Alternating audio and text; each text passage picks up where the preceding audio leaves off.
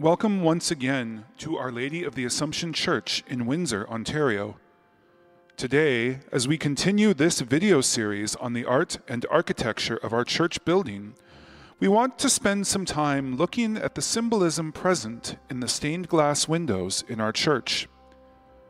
Throughout the history of the church, stained glass windows have served a dual purpose.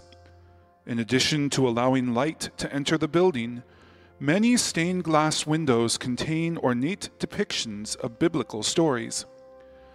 These depictions served as a way of teaching the faithful lessons about sacred scripture and the faith, especially since before modern times, many of the faithful could not read or did not have access to a Bible of their own. Many of the windows in Assumption Church are not as ornately decorated as windows in other churches.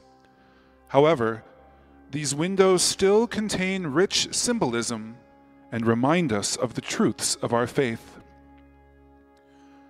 Our tour of the stained glass windows begins right as we enter the church. Over the main entrance to the church, a window depicts the four evangelists St. Matthew, St. Mark, St. Luke, and St. John. This reminds us that the four Gospels, written by these four evangelists, are the pillars on which our faith stands. The Holy Spirit, the source of inspiration for sacred scripture, is also depicted in the form of a dove. This depiction of the Holy Spirit reminds us of the Spirit's guidance of the Church throughout the centuries. Over the inner doors of the main entrance, the Holy Family of Jesus, Mary, and Joseph is depicted. This reminds us not only that Jesus was fully human and fully divine, it also reminds us of the importance of the family in the Christian life, since the family is the first place where children are instructed in the faith. The windows in the main body of the church are all decorated with different patterns, which make up the majority of the glass in the window. However, at the top of each window, a series of different symbols are found in the glass. It is these symbols that convey important lessons about our faith. All told, there are 16 windows in the body of the church four on the back wall and 12 on the side walls, six on each side.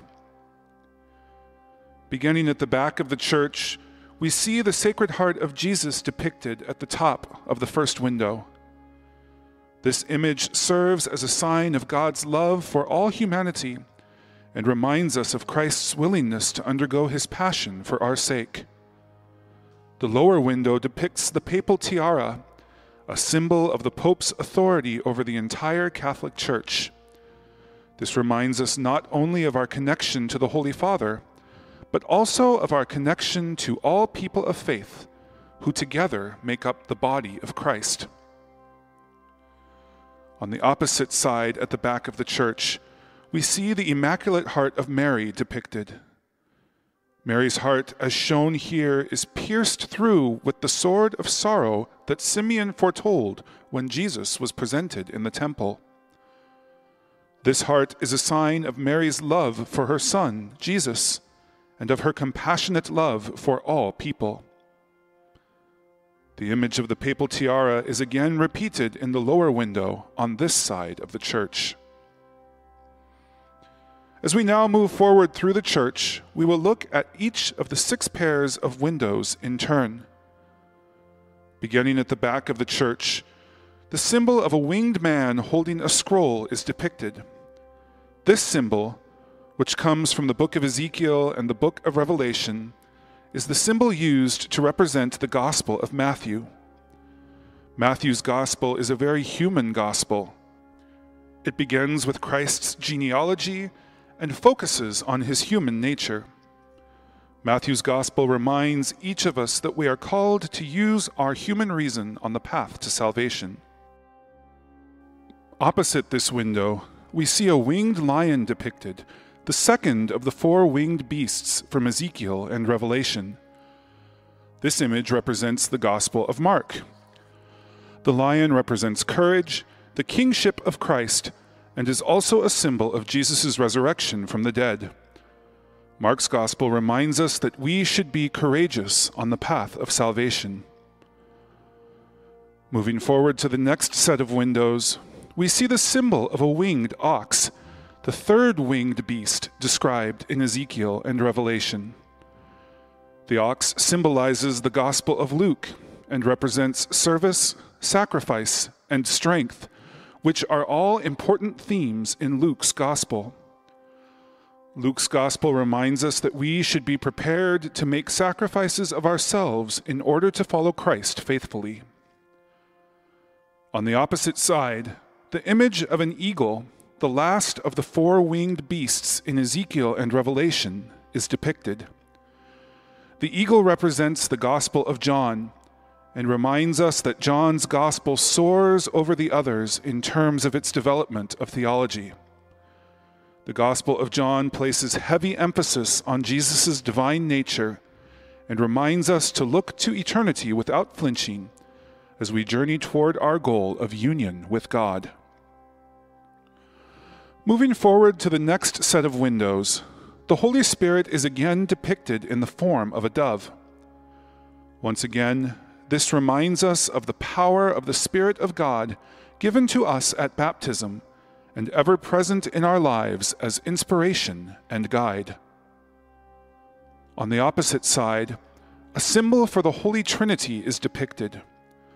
This abstract symbol is a visual representation of our belief that God is a trinity of persons the Father, the Son, and the Holy Spirit, who share one divine substance. This belief in the triune God is the core of the faith which we profess every Sunday in the Creed. Moving to the next set of windows, we see depicted the crown of thorns, the nails, and the sign that hung on Christ's cross when he was crucified.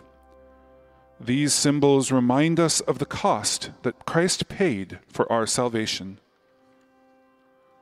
Turning to the opposite side, we see an image of the cross set inside an ornate crown. This image reminds us that although there are trials in this life, a rich reward awaits us in heaven after those trials have concluded.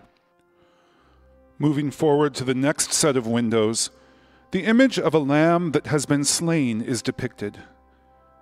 This image reminds us of the Passover lamb in the Exodus account whose blood anointed the doorposts of the Israelites as a sign for the angel of death to spare the firstborn of that house.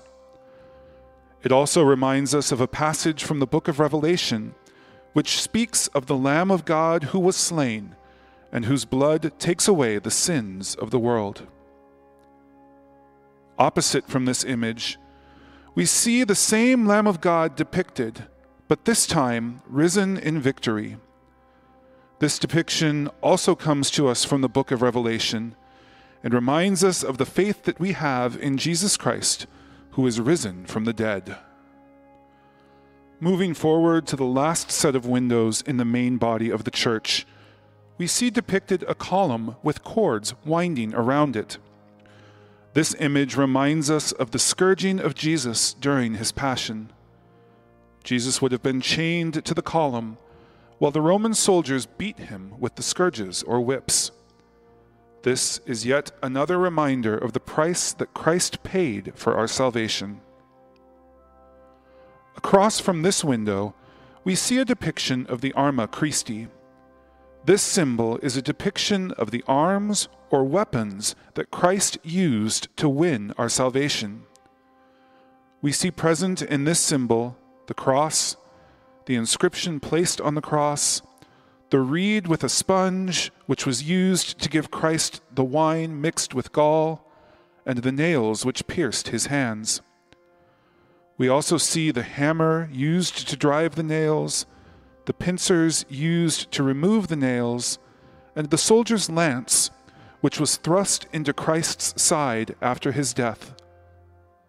The heart at the center of this image reminds us that Christ's death on the cross was a supreme act of love for all of humanity. As we enter the sanctuary of the church, three scenes from the life of Christ are depicted in the windows behind the high altar. These scenes are the Annunciation, when Christ became incarnate in the womb of the Virgin Mary, the crucifixion, when Christ died on the cross for our sins, and the resurrection, when Christ rose from the dead, victorious over sin and death. Above the windows in the sanctuary, another series of symbols is present in the stained glass. The first symbol depicted is the image of a pelican with her young gathered around her. Pelicans are incredibly attentive to their young, and if no other food is available, a mother pelican will wound her breast so that her children can be nourished by her blood.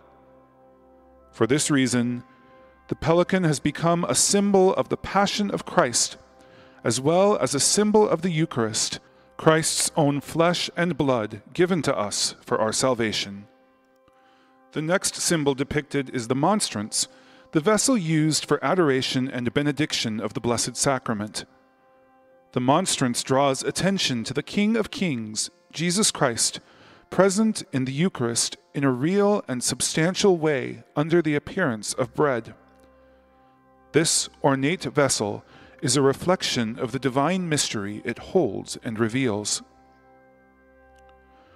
The next symbol is another depiction of the Arma Christi, which includes many of the same symbols in the other depiction present in the church, including the cross, the lance, the sponge on the reed, the hammer, the nails, and the pincers. In this depiction, we also see the ladder used to remove Christ's body from the cross, as well as the veil of Veronica which contains the image of the Holy Face. The next symbol is the chalice, the vessel used for the consecration of the precious blood at Mass.